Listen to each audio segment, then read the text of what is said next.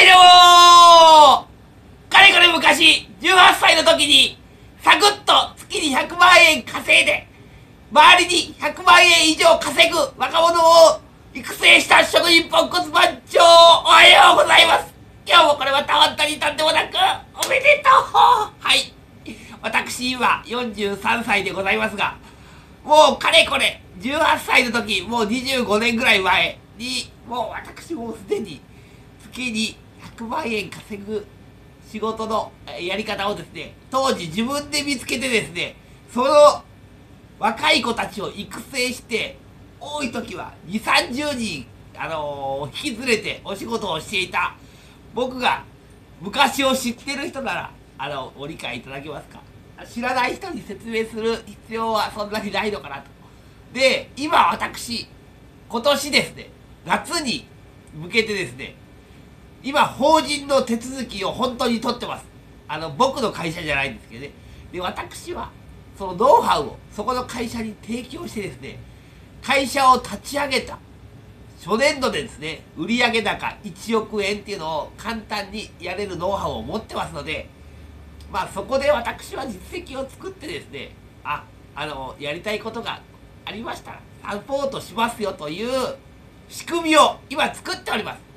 それが、あのー夏にですね取り、あのー事業化する、まあ、クーラーの取り付け事業、まあ、量販店メインのクーラーの取り付け事業を、あのー10チーム作ってですね基本大体その夏の間夏っていうのはですね、まあ、クーラーの業界では、まあ、大体5月ぐらいから9月ぐらいが、まあ、僕の推測では夏って言うと思います、まあ、繁忙期ですね。じゃあその時にですね大体どれぐらい一人が売り上げるんだっていうのを、まあ、あの聞いた話をですね予測をしてですね出した数字がですねハイエース大体量販店のクーラーの取り付け事業には必ず、えハイエースが1台キャラバンでもいいんですがワゴンが必要です。なぜかというと、まあ、あのクーラーを1台車に詰めるだけ積み込まないとセンターまでわざわざ、えー取りに行ったりしないといけないんですよね。でたくさんつける方は、まあ、あの取りに行かれる方もおられるんですけど基本あのセンターも混んでますので1日1回にした方がいいじゃないですか。そんな中で、まあ、僕の、あの手伝いで行った感じの雰囲気だと67台は6台ぐらいは必ず詰めます。1回でね。そうすると1日平均6台つけると売上取り付け費用の、えー売上が、え毎日10万円を超えます。ということは本当に夏の繁忙期は、えークーラーの取り付け業者で、えー有望な方は休みが1日もありません。かける1日10万円の売り上げを、えーかけてください。そうすると1ヶ月300万円の売り上げになると。それが5ヶ月あれば1500万ですよね、えーで5月と9月っていうのは、えー特別な人しか、えーそんなに取り付けることができないです。なぜならそんなに受注がないからですよね。であの仕事の取り合いになってると。ただ8月はもうマックス、えーほとんどの方がそういう現状じゃないのかなと。私は推測してます。そして平均するとトラックまあ車ですね。ハイエースかキャラバン1台持って、えー稼働した1台の売り上げの平均はまあ少なからず1000万はいくのかなと。その1000万をいく売り上げを、えー10チーム作ることによって1億円、えーそれが、えー私今3チーム持ってますので、まあ、軽く3000万の売り上げができる会社を、え作ったと。でまあ、まずこの先ですね5月までの間にまずその3チームをあのお客さんをつけてですねお仕事をいただける状態まで育成しないといけないと、えそのスタートラインが今日、え本当に量販店の、えークーラーの取り付け工事1日3台っていうのにですねポンコツ学校の生徒さんが取り付けに行って3件目で、えーお手伝いを取り付けのお手伝いを本当に未経験で、えーやってきております。そして帰ってきてきた答えがあ、まあ、5月までにその仕事の技術を習得して、まあ、一人で回れるようになるという旨を聞いておりますので、まあ、あの僕が想像していたように、まあ、クーラーの取り付けは簡単だということです。ただですね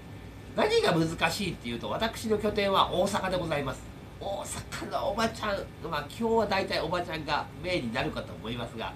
まあ非常に手強い本当に手強いです、まあ、そういう方を相手に、えー、100件クーラーを取り付ければ100通りの、えー、クーラーの取り付けになってしまうと。なぜなら同じクーラーを取り付ける、えー、ことは生涯人生の中でないんですよ。ということは毎回初めてのパターンのところに行ってですねそのクーラーを取り付けないといけないと、えー、ですのでその選択を現場で判断して決めることはですね非常に少しちょっと、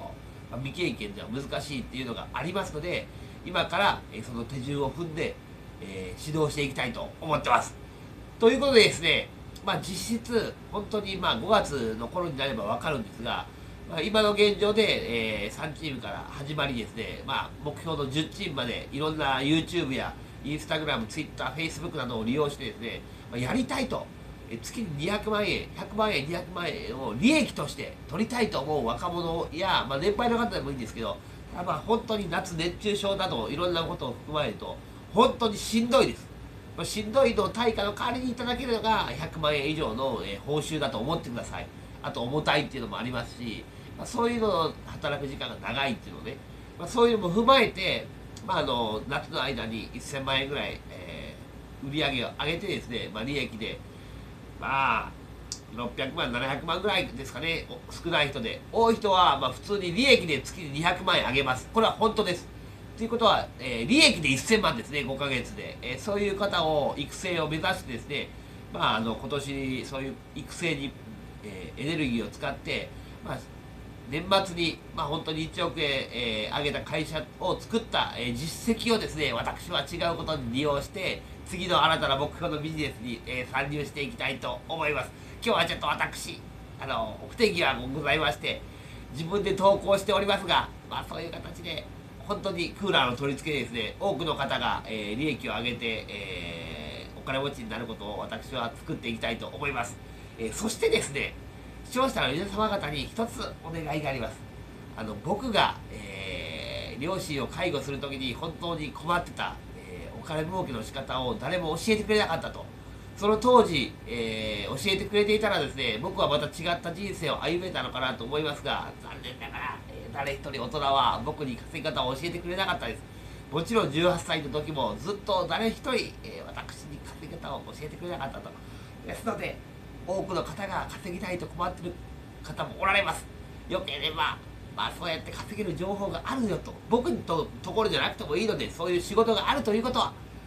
大切な方に伝えていただければなと私は思っております。ということで今日は視聴者の皆様こういうトークになってしまいましたがた頑張って先ほどが上げたいと思います。それでは今日はこの辺でごきげんよう。また明日。バイバイ。